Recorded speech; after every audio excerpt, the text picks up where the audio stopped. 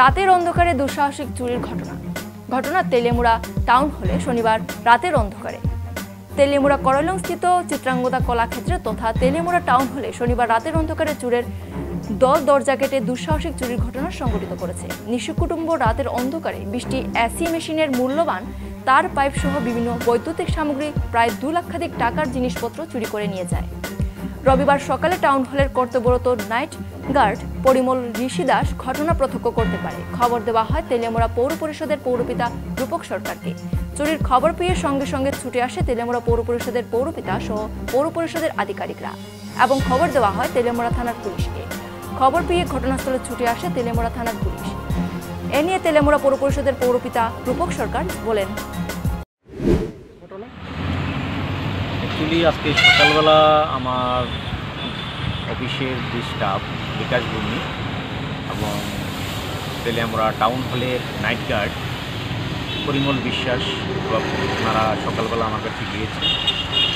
গিয়ে বলল যে টাউন হলের যে এসি মেশিনগুলি আছে, সে এসি মেশিনগুলির যে তামার তারগুলি এবং বিভিন্ন আনুষঙ্গিক যে আরও তামার বা পিতলের যে জিনিসগুলি আছে, সেগুলি চুরি হয়ে গেছে। তৎক্ষণাৎ আমি তেলে আমরা পেয়েছে ফোন করি এবং আমাদের যে ডেপুটি সিউ সাহেব আছেন, ওনাকে আমি ফোন করি।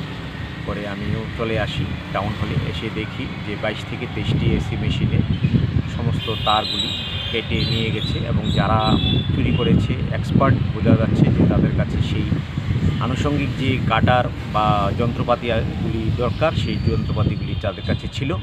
তারা সেই কাটার দিয়ে সেগুলিকে কেটে নিয়ে গেছে। আমি দৃষ্টি আকর্ষণ করেছি তেলিয়ামোড়া পিএসএ এবং আমার যে, এখানে যে স্টাফ নাইট গার্ড যে আছে পারমানেন্ট স্টাফ যে পরিমল ঋষি দাস মহাশয় ওনাকেও বলেছি। আমার মনে হয় ওনার কাজে গাফিলতি আছে।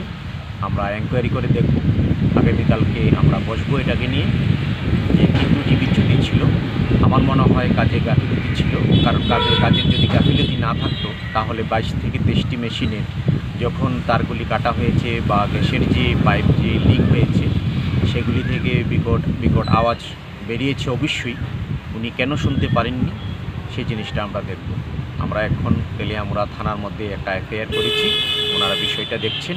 আমি অনুরোধ রাখব যে সমস্ত দোকানগুলিতে এরকম জিনিস বিক্রি করা হয়, ওনারা আমাদেরকে সহযোগিতা করবেন এবং ওনারা আমাদেরকে অবশ্যই সেই খবরটুকু দেবেন যাতে আমরা পরবর্তী সময়ে এই ধরনের কাজকে আমরা আটকাতে পারি এবং তেলিয়ামোড়া সমস্তবাসী আমরা আবেদন রাখব আমি আমার তেলিয়ামোড়া পৌর পরিষদের পৌরবিতা হিসাবে যে আপনারা একটু সতর্ক থাকুন।